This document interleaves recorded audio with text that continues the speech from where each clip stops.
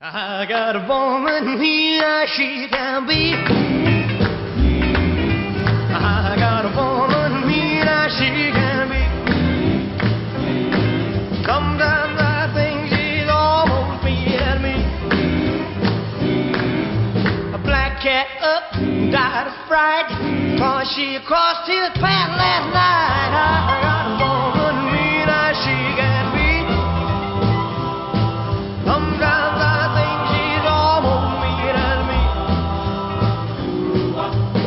Na entrevista de hoje, nós vamos mostrar uma pessoa muito especial aqui de São Sebastião do Paraíso e que tem uma história incrível para contar. E não é só isso, foi considerado um dos homens mais elegantes do mundo, é super bem relacionado, conhece grandes celebridades, é muito fã do Elvis Presley e é amigo e, claro, compadre do Roberto Carlos.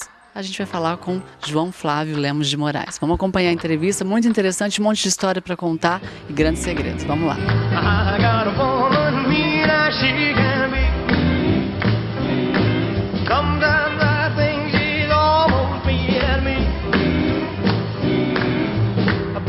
Cat up, died of fright, cause she crossed his path last night. I got a woman here, she can be.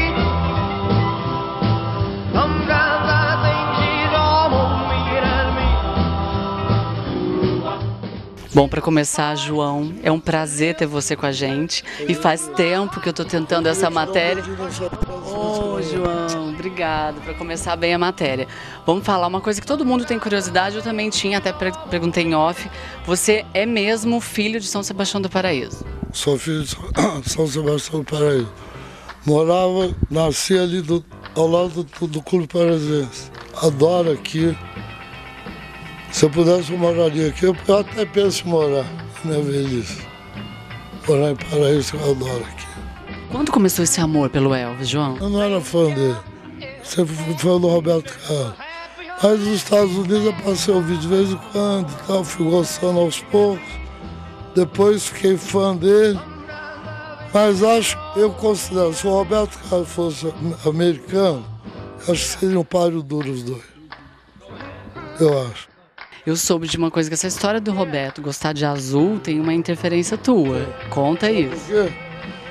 Vó, Roberto, você não tem olho azul. Bota uma camisa azul clara, dá um reflexo, muita gente vai achar que você tem olho azul. É uma, é uma das suas cores preferidas também? Pois é, eu coloquei meio em homenagem. Reflexo dá a impressão que seu olho é azul. Olhando assim, eu falei pra ele, passou usar azul. Você é devoto de algum santo específico, sua religião? Como é que funciona essa coisa de Deus com você? Não ia muito à missa, porque eu acho que a missa tinha que ser mais curta. Eu sou muito paciente. Se fosse 15 minutos, eu não perderia uma missa. Mas é meio demorado e tal, eu não vou muito.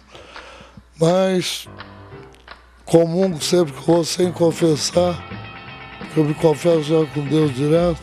Eu já descobri no Jesus de Nazaré quando o rico pergunta a Jesus, o que, que eu tenho que fazer para o reino dos céus? Jesus fala para ele, vende tudo e dá para os pobres. Eu até choro. E ele falou, tudo, tudo que meu pai fez, Jesus fala, tudo.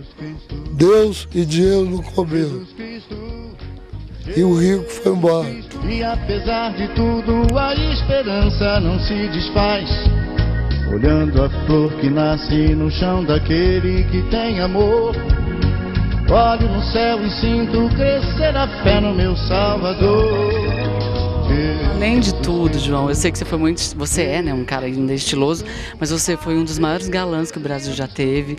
Já esteve em listas como o homem mais elegante do mundo. Como é que isso soa pra você, João? Que eu falei que eu achava mais importante que ser mais elegante do mundo é fazer caridade. Isso aqui é elegância para mim. E a mensagem para essas pessoas que de repente estão nesse mesmo caminho, de querendo largar todos os vícios ou drogas, você pode deixar uma mensagem que é importante. Quem fuma cigarro tem que ser muito burro. Porque tá aqui, ó. Que eu fu- fumo porque na época que eu comecei a fumar era bonito fumar. Hoje só fuma quem é idiota. Porque uma o cigarro no começo não é bom, demora para ficar bom. Então o cigarro tem que acabar. A droga não é perigosa. Na segunda, terceira vez que você usa, você já fica viciado. João, muito obrigado, viu? Tudo de bom. Obrigado a todo mundo. She makes love without a smile. Her dog get